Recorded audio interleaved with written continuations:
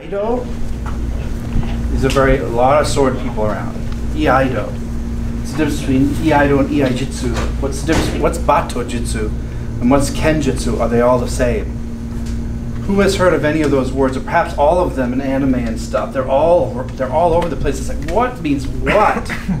I heard Jitsu something like the art or way or something. These have to do almost always with history, where they are in history. So if you look at the kanji, a lot of the ways you can learn about what you're studying is to find the kanji and then find what they mean. And then as you put them together, it'll, it'll kind of tell you what it's doing. So E, this kanji means to be present in the moment, to be hyper aware of what's happening. So that's, if you say Iaido is the art of fast drawing the sword, well, you're connected enough to know when to draw it. So you're really aware of your enemy and where they are. You're aware of spatial, where people are. I, as an Aikido, you've heard of Aikido, it's the way of harmony. So I'm being present and I'm in harmony with the opponent or with the universe. And then you just add jitsu or do because they're kind of interchangeable. Iai Jitsu is the art of being present and in harmony. So people are, well, isn't it fast drawing? Yes, that's all in there. But if you think of a deeper term, it's being so present with your weapon. And this would work for military with a gun modern days too. Like if you're a hunter, you're almost at one with the bow, you know what I mean? You're at one with the deer in the forest and your rifle. It's not a trivial thing. They say that jitsu is the art of and do is the way. Some would argue that do is a deeper term than jitsu. So the art of something is like, yeah, I'm good at painting, but I don't live as a painter. I'm not an artist. I don't die by the paintbrush. Whereas the way is a deeper term. Karate do, aikido, kendo. These are almost like they do the physical and the spiritual with it. So it's like a deeper thing. Uh, Budo, which we are, the way of war, the way of studying war, in some cases the way of the peacemaker.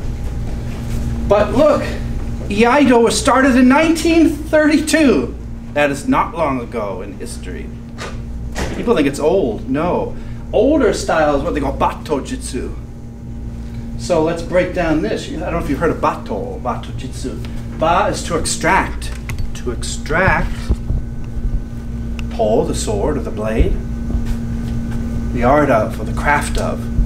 So Batto Jitsu, you could argue Batto Jitsu is the same as Iai, but it's just a different name, perhaps a different period of time, different schools of study. So Batto Jitsu is usually associated with older times. If they didn't have Iai before 1932, the word, then they would have called it Batto Jitsu. Then you have Kenjutsu, Kenjutsu just means um, that's an umbrella term, the art of the sword. And Kenjutsu, usually, from my teachers tell me, it's when the sword is drawn and you're using it opponent to opponent. Battlefield swordsmanship is Kenjutsu, the art of the sword. However, Batto Jitsu is in Kenjutsu because you have to draw your sword at some point. So you better be good at drawing it in battle. You don't want to be in the battle and you're in armor, so you have a little more time. You're like, this can't get it out. So you're poor at batto, and therefore you die before you even start kenjutsu. A lot of Iai schools, which are modern, don't even work with other people. It's all solo work. You ever seen the old guys on the mat and they sit in seiza and they're super careful how they draw and they do all these stylistic movements? It's fine, it's Iai but it's not with a combat situation. It's not a person coming at them. So it's a different study. Like I can go to the uh, range, we go to the gun range and practice firearms, but I'm not fighting like in the police force where uh, there's a bad guy coming at me. And that's a whole different ball game. So what we study a lot in here, we we do study batto, but it depends on the period of history. So let's go to that board. Look, we have a whole timeline here. I hope you don't mind this depth. I think it's important to know. Come in close. Here, 538 CE or AD, however you say it. All these different periods of time.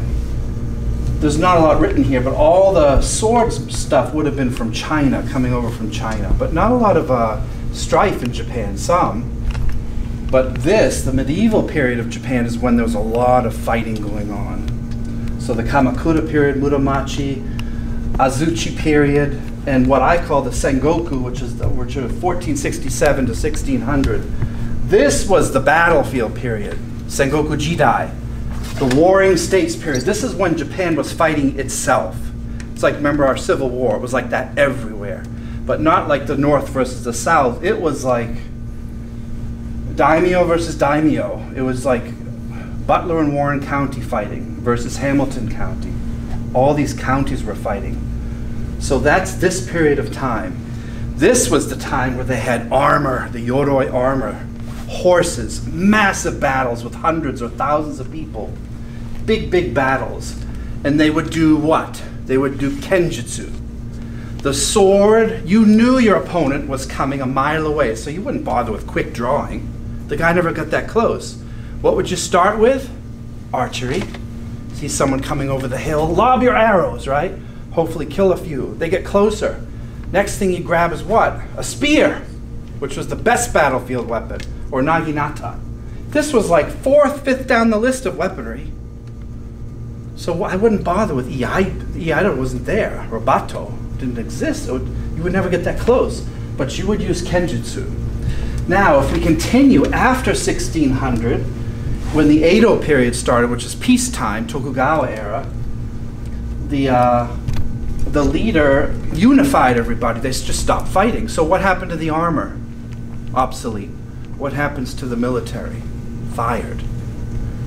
What happens if you're a samurai, you're born and bred to be a military leader, a fighter, and then you lose your job? All these samurai movies that we love mm-hmm. are usually here. The peacetime. Have you ever heard of a ronin? A wandering samurai, a masterless samurai?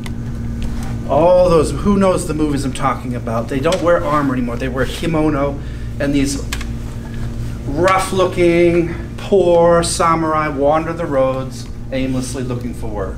They're great sword fighters, but they have no job. So, what do they do to get work? They hunt, they become bodyguards, which is a real, real thing. They try to get employment anywhere they can. They can't go into the craftsmanship because that's a whole other class. And those that make, you know, that make houses and things, the they already have their job. They're not military people. So the samurai in the Edo period were kind of wandering, most of them. What would you do?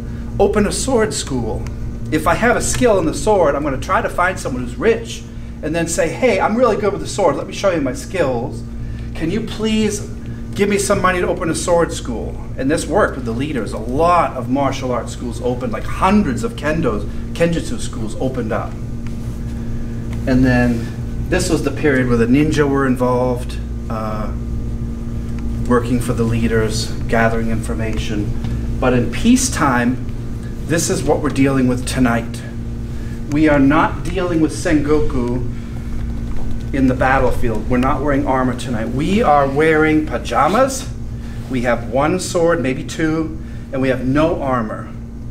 So the swords in that period are what in the modern day? Shorter, lighter, shorter handle. Sukai was much shorter, and these could be used with one or two hands. In the old days, the swords are super heavy, and you need to hold them here to armor. In this time, you can use them one-handed, like Musashi, or two swords.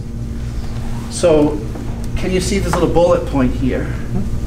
This is what we're dealing with tonight a lot of the stuff we study in this martial art, we have two philosophies. One is old style, one is new with sword. We do a lot here. Remember when Arno was here last year? Everything we did had to do with the armor fighting. The DVD that we produced is all armor fighting. Person against person, mano a mano on the battlefield. Tonight we're dealing with this quick draw to save your life. So tonight it is okay to be a little quicker than normal and uh, know that you have no protection for your body, no armor. So let's practice the attack. Everybody face the mirror next to me in a line. Make sure it's a katana in this case, so the blade is up. Turn it over, blade up. Not blade down unless you want to be Johnny Depp. Here. I'm just going to show you, we don't have a lot of time, I'm just going to show you one way to draw. Your right foot comes here. Your right foot enters into battle. Your right foot turns out. This gives you support on the dirt if it's wet, bloody battlefield or here. Ice, snow. Straight and I'll slip here. And then your knee bends. Now I'm opening my hip up. Now I can draw my sword. Left hand here on the saya. Right thumb pops the tsuba guard to free it from the scabbard. Do that with me if you haven't. Horizontally. And then from here, I back a straight, grabbing the handle here, pulling the saya back with your hip, drawing the sword out to cut horizontally, somewhere. Body, neck, head, leg, anywhere. Go ahead and put it back and reset. Very basic fundamental draw, a forward draw. I'm still on line with the opponent. One and a half. Half is the turn, turning over. Slowly pull the hip back. Keep the pommel toward the opponent. As it comes out, it cuts across. The sword stops in line with your arm. Don't overextend. It's literally under my right arm here. Just stop. Once you miss, don't open yourself for attack. Say the guy jumps back, which we're going to do. This is pointed toward their eye or chest here or neck. One more, please. She's in, relaxed. Let's cut out the steps here, so watch me first. One. Try that at your leisure. I want you to do 20 of these. Go. Who's ever heard of kendo? That's super, super, super modern with a shinai, and they it's a sport, and they hit each other. Very good sport, but not kenjutsu. Very different. Not at all. No depth. Not nowhere near the depth of kenjutsu, my opinion. So kendo is all up here. You know, high, light, quick, super fast. Good, but not kenjutsu. The foot, this moving of the foot does many things. It, it changes my balance, turns my hips, opens up the sword, and closes the distance. I've now gone two feet closer to him. If he's up here talking to me, he may not even notice that little foot shift. He does, but the average person may not. Especially if you're wearing what? Hakama. The divided skirt is quite large. You ever seen them? I, I, I have many. I should bring it and wear it to show you, but the skirt's this big, so when I move, he doesn't even see my foot. He just sees the skirt all the way to the ground. And the idea of this is so that when I'm here, I can cut somewhere quick. Now his job as the opponent, as the good guy, is to move out back.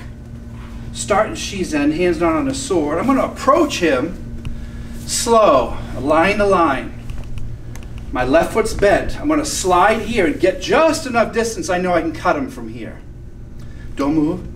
As I draw and cut, here, across the body. Dogiri, or yokogiri. Just touching with the last inch, it's all you need.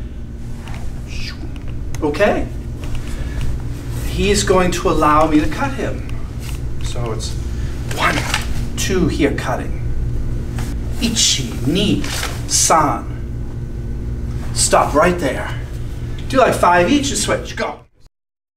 What does he need to do?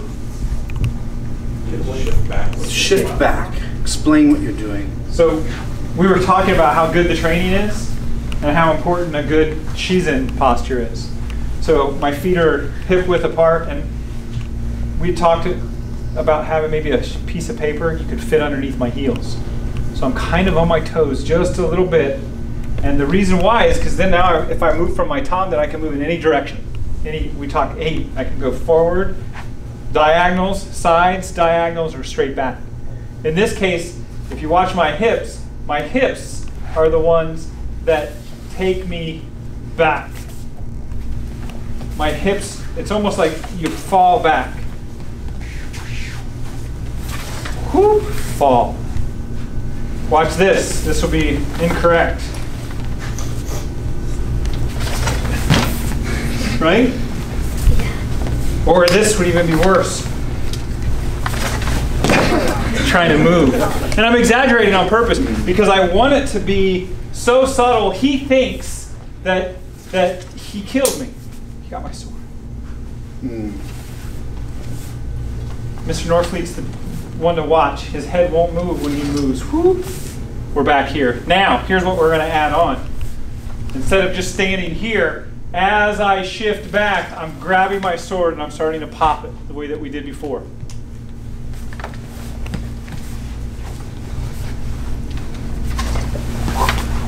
My next attack, I'm not going to sit here. Several things I could do. One possible thing is I could move in and try to stab him. Very valid. And hope that the tip hits him. But a, a normal, even more common, is from one here, I reset and go to cut here. Diagonally or straight down. Whether it's Daijodan, Jodan, Hasso. So one, I can't hit him, but now if I'm here, I can get him. So you're going to go into Daijodan from here. You can be here. Jodan no Kamae, Hasso makes no difference as long as it's up somewhere. It's a high posture. And your job is to try to cut down at his head or the Kesa. So he moves back. The Ma'ai is good. The interval of time and space he's created has foiled me. Don't move. My next job is to go here or here or even here. Diagonally forward this direction. So the person attacking is going to win, yet he's going to move with his tanden. Ichi, ni, san. Stop there. I went a little too close to him, but I'm just showing you exaggerated. Don't hit. You have a who has a wooden one? May I, Kathy? Arigato. So when you're here, it's one, two, three, or if you're farther, step through. Please don't clunk him in the head. Try that out.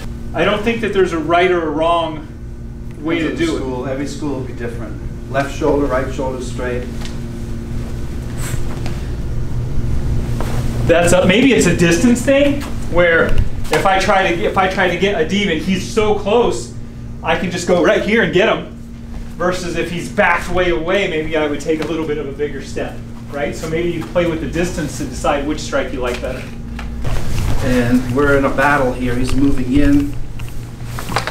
I want to go here, coming from underneath. Again. As if you're here, as he's coming in, I want to look like I'm not ready. I'm here. I'm not ready. On the last part, as he comes in, it's one, two across the body. So the sword is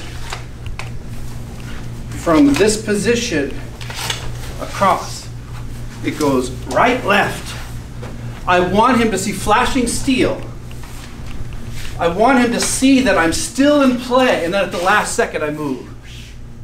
It's a small zigzag, but it's dangerous because on the first part, go slow. I'm still in front of him, and then it goes here. If I go too early, he'll change the movement.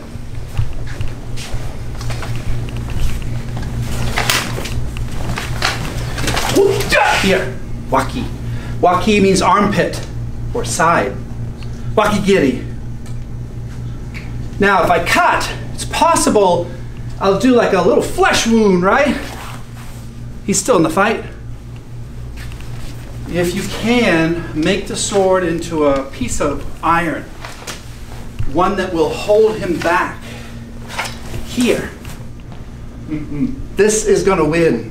Now my shoulders against his taijutsu. The sword is jammed into the waki here, into the butsumetsu. Therefore, he cannot turn on me. Here, I'm in trouble. However, if he turns, I can go vertical and make sure that it, he doesn't come in. But I'd like you to start slow and stay slow. Don't go at my speed here. One, two. It's footwork. And then you place the sword. Again. Ichi. Go! Here. And then you can come in this way if you needed to. Relax. She's in. Relax. As relaxed as you can get in a sword fight. Step back with the tanden. He's now, or she has done the cross cut. They're now setting up for this, for the final kill. Real, real slow. Same movement.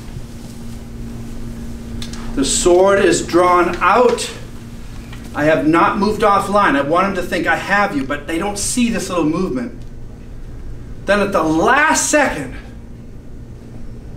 it changes directions. As I step left and allow the sword to go into this wakigiri here. Real slow. Whoa! Don't draw yet. He's got me. Here. And then close the distance, cut the eye into this koku space. Using your body and leverage to cut deep. If you're gonna retreat, push him away and watch him bleed out if you need to. Okay?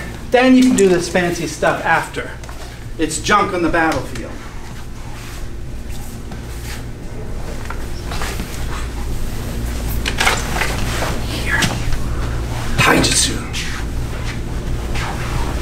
Very important. Shahaashi. Mm-hmm. Here. Using your body. Yo! Pushing him away. Three timings.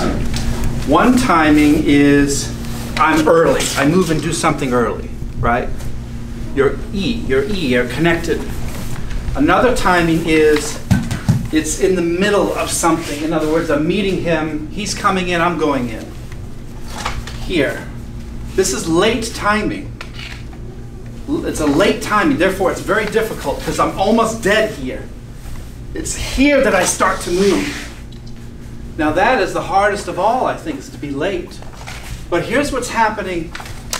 You can do this. Someone's going to be like, "Well, why can't I just just do this and stab him?" You can. Of course you can. It's easier because you're cutting out a whole step. This is perfectly fine do a tsuki thrust. But there's a risk I'll miss him, sure, because it's straight. But it's, so if you want to make this simpler, it can be one and then just two here. Now I'm offline and I've stabbed him. But I didn't use taijutsu and get close enough. What I'm seeing is you're, you're doing quite well here and you get here, but then you stop and you, you're at this distance. I'm here. I've used, I'm now relying on the weapon to kill him. It's not about the weapon, this is an extension of me. So watch the difference. One. Could survive, sir, certainly. We're equal. Watch now. Ready? Here. I want to win. Hopefully. Now I'm, I'm controlling him. I have no control of him here. It's blade on blade, Star Warsy type stuff. Kenjutsu is controlling the body of who wields the sword armor as if I'm still in armor. The old days of grand granddad. I'm still here, granddad. I'm still doing it right. Hmm. The way you taught me as a child. One point of contact, two and three, even four. The more points of contact, more chances of surviving. The less contact I have, we become even partners. And then it's just a matter of speed. I'm going to show you a couple variations that you can play with, even if you're even more late as he draws from here. This one, you're going to come down this way. Isen. Let him cut. Watch my sword, not his. Here. I, I, I drew the sword and then I went this position. Now the blade goes down and cuts here. You cannot get close on this one. You have to use distance. it's here. See that one? So your sword is hitting the back of his blade again. Here. Whoa. Or on the arm. But look at my position. It's not here. It's either here or it's here, but it's in a good position. That's one. Are you making notes of these? Another is the tsuki. You should be practicing this with me. Do what I do here. Practice here. This one, just bring it here. Draw it and just put the tip toward him. So by yourself, it's here. Still offline. Watch my feet. It's still here, pivoting offline. Then drive that in. Another. Here, cut the wrist. Done. What did I do on that one? Retreated. I went backwards. It's safer than the other. Huh? Height here. Watch it real slow. Use the line of the mat. See it? Watch. We're on a train track. Train track of death. Here. Kotegiri. Out of reach. Severed thumb. Done. For now. Again. Be on a line with us. Ma'ai timing here. Taijutsu. The more I sink my knees, the more distance I get, the more I can see. And the weight of the sword alone with gravity will go right through what's there. No armor. A lot of swordsmen had no thumb. Go this way too. Riskier, because I'm now on the inside, he's stronger. I can still get him. But I went for his left wrist. This target's better, it's out farther. One more, do it with us. Slide. Oh. Yeah. Here. If I cut his hand off and he loses it, what's he going to want to do? Wouldn't you? I'm going to take your wrist. I move. His wrist is gone as he cuts here, this way. Watch again. All right? Slow. H. Knee, take your time. His wrist drops. I'm not going to move. He's, that's his attack. As he attacks, under. Using the curve, back step. Here, I just cut. Here. Leverage. See it? Sir. God, this is fun. Do it with us. One. Oh, I got caught. He. Again, I got stuck too. Each. Moving here. Monijitsu. Where did my left hand go? Between his arms. Let him have all the anger. All the anger. I just shift here. Taijutsu. Take control of what's there. See how I have control. It's not my hand doing the work, it's my arm and his elbow, and I'm controlling his legs. Here, I have control of the mm-hmm. opponent. Holding here. So you weave your way, weave your left hand in. Whoa, here. And then death. Shi. Control the opponent. Hard for him to cut with his knee here. Understand the movement? But you don't need your sword. You do not need it. I can be here in control with my own katana. I'm using the handle here. Feel that control, mm, sir. Yes, sir. Then if I just move this down, he will move into position. then here. Okay? The point is, everyone hold your left arm, and I want you to bowl left-handed. Just watch this hand. I'm really going to exaggerate. Chi no kata. Now I can't stay here. I'm no good. You can draw back, get my control. Watch what I do here. My eye, control the distance. Now I have him, at least for a moment. Okay? Then using my pelvis, drawing the sword, I'm squeezing my side in, and a love handle if you have one.